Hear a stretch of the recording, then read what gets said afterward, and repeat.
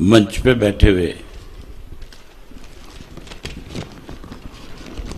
सिख कौम के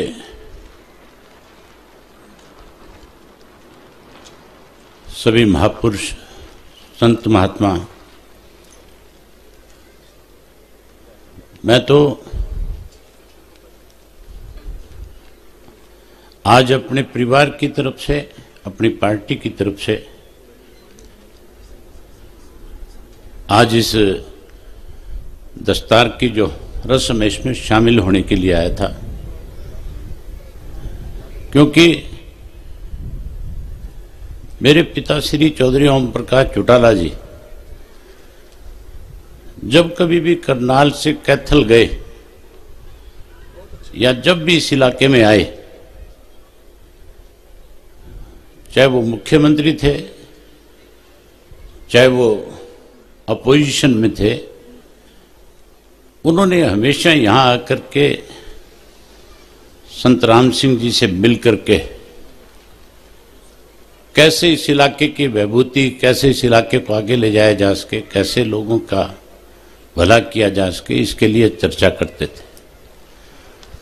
और संजय भी अनेक दफ़ा चौटाला साहब से दिल्ली मिले, चंडीगढ़ में मिले। यहाँ तक भी हमारे घर फार्म पे भी जाकर के आए तेजा खेड़ा में भी मिल के आए। उनका उनसे एक अलग लगाव, अलग एक प्यार था। और जब मुझे, उन्होंने जब शहादत दी, जब उन्होंने किसानों की इस लड़ाई में, उस किसान के साथ जिस ढंग से केंद्र की सरकार बर्ताव कर रही थी उस चीज़ को ज़्यादा देर तक उस किसान की पीड़ा को खत्म किया जाए, इसके लिए जहाँ उन्होंने अपने आप को शहादत देने का काम किया कि किसान के साथ न्याय हो जाए, मेरी ज़िंदगी बेशक जाए, लेकिन मेरे देश का अन्नदाता जो है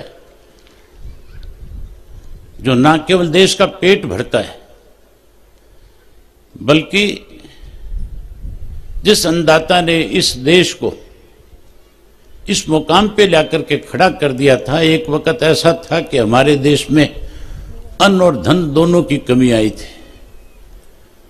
तब इस अन्नदाता ने लाल बहादुर शास्त्री जी हमारे देश के प्रधानमंत्री थे, उनके कहने से एक दिन का व्रत रख करके इस देश को आत्मनिर्भर बनाने का काम किया था। और संत राम सिंह जी भी चाहते थे कि इसी तरह से हमारा देश का अंदाता जो है, आज जो परेशान है, दुखी है, जिससे आज केंद्र की सरकार सब कुछ लेना चाहती है। केंद्र की सरकार की आँख खुले, इसके लिए उन्होंने अपने आप को कुर्बान कर लिया, शहादत दे दी। मैं तो आज उनको नमन करने आया था। मैं तो आज उनके प्रति अपनी श्रद्धा अर्पित करने आया था, परम पिता परमात्मा से प्रार्थना करने आया था कि ऐसे महापुरुषों को न केवल अपने चरणों में स्थान दे,